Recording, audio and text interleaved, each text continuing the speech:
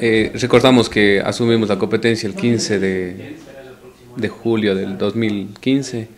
A, a, la fecha ya estamos con un año y medio de, recorrido con la competencia de tránsito. Dentro de este periodo de, de año 2016, eh, con éxito hemos podido terminar o, o elaborar eh, 6.428 trámites de matriculación, eh, teniendo em, la misma acogida. Estamos con la misma cantidad de usuarios. El día de ayer, 29 de diciembre, se, se cerró el, el, el SRI, la, la, página de consulta para los trámites de matriculación y cobro en sí. Entonces, por ende, no podemos ya seguir laborando porque ya no hay ventanillas abiertas para realizar los pagos de pagos de matrícula o transferencias de dominio. Y también eh, cierra este periodo desde el 29 de diciembre hasta el 9 de, de enero para poder ya generar los, los nuevos valores a pagar del año 2017.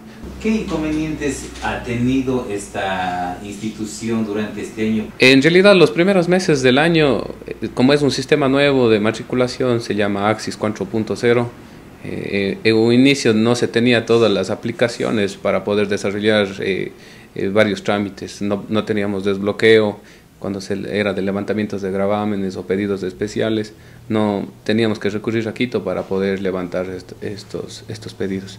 Ahora, en la actualidad ya poseemos todas es, esas, esas opciones de, dentro del sistema, en la cual ya nos permite agilitar estos procesos y dar un mejor servicio al usuario. ¿Cuáles son las necesidades a lo mejor para el nuevo año? De generar un poco de compromiso con el cobro de tasa solidaria. Eso se está demorando tres días en la emisión de del ticket de comprobante de tasa solidaria.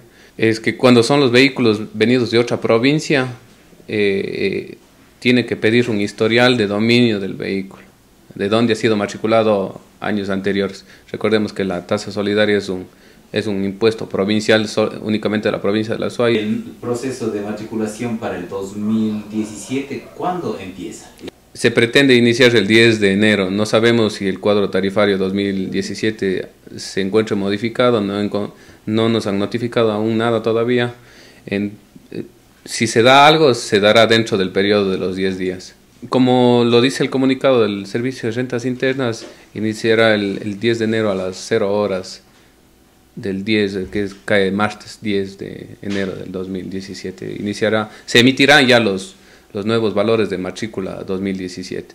¿Hubo complicaciones al final de año como ocurre en todo lado por las personas que dejan para el último? Sí, ese es un, ese es un, un tema que siempre se da en todos los años. El anterior año también pudimos evidenciar el mismo problema. Eh, este año no ha sido la excepción. Hemos tenido eh, que negar el trámite a, a, cantidad de gente. No era por nosotros, sino ya el, el, sistema, el sistema del SRI se cerraba a las a las 6 de la tarde, entonces no podíamos extendernos más allá. ¿Cómo ha estado la atención aquí en el Cantón Giro? Sí, un poco rápida, sí, rápida. ¿Se ha retrasado un poco usted también? Como todo ecuatoriano. Sí. ¿Se tocó pagar multas? Sí, 25 dólares del año que no matriculé. El último día ha habido mayor afluencia, ¿usted ha notado eso? Oh sí, pero está muy buena la atención. Ya.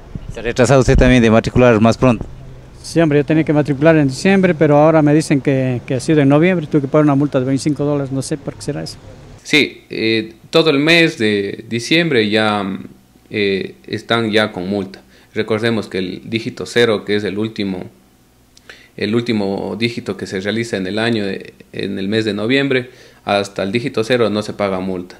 Ya, y diciembre son todos los dígitos ya con multa.